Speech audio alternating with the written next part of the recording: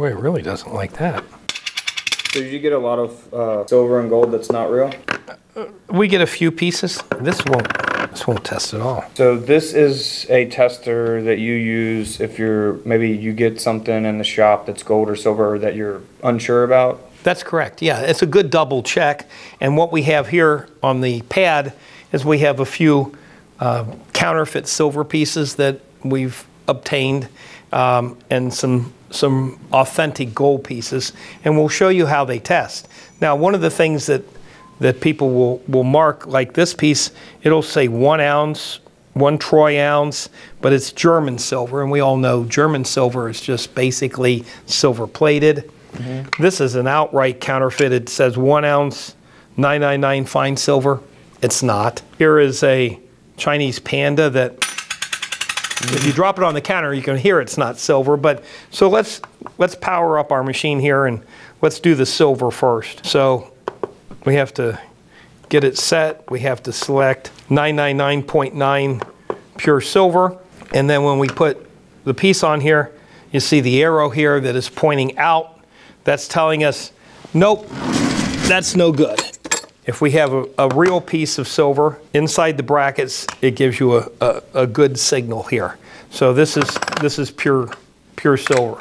Here's our German silver piece. The plastic is a little too thick for that, so, and it doesn't like that at all. It's not giving us anything. But again, when you drop that, it doesn't have the sound of silver. Mm -hmm.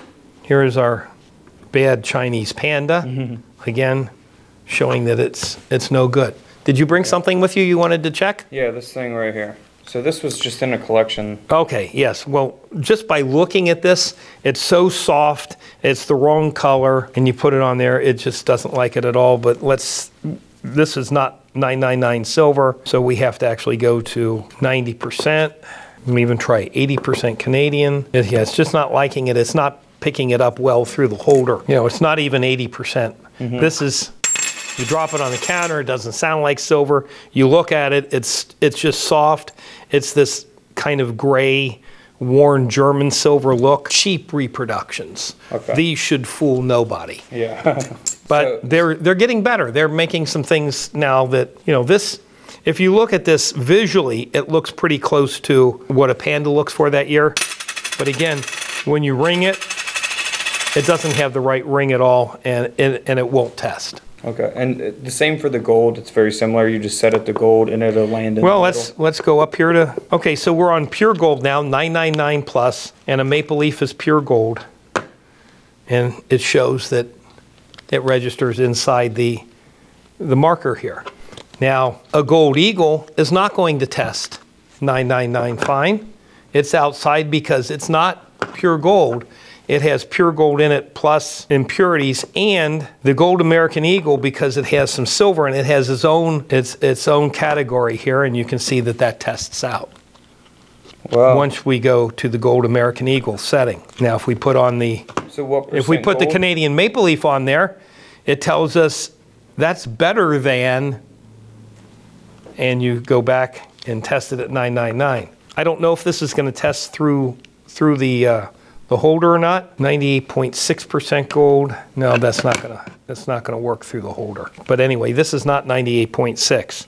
The uh, U.S. gold coins, yep, still just too much too much interference through the holder. Okay. But there's a place here that you can test each of the purities that you would normally find coming into uh, a store, or if you were doing it at home, the things that you would normally run up to.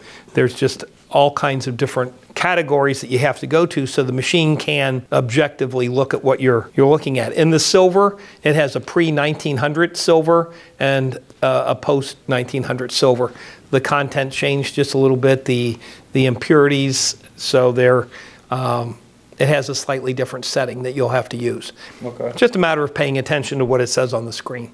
Okay. If you guys want to buy any coins in Cincinnati, if you come through Cincinnati, a trip here, make sure you guys go to Coins Plus. They have three different locations. Check out their business card right here. You can call Brad, ask for Brad, tell him that Couch Collectibles sent you. He might even give you a deal if you do that. I don't know. All you got to do is negotiate. And don't forget to subscribe in the middle. Feel free to check out the videos to the left of me. And until tomorrow, I'll see you guys in the comment section below. This is Couch Collectibles, and this is where I disappear.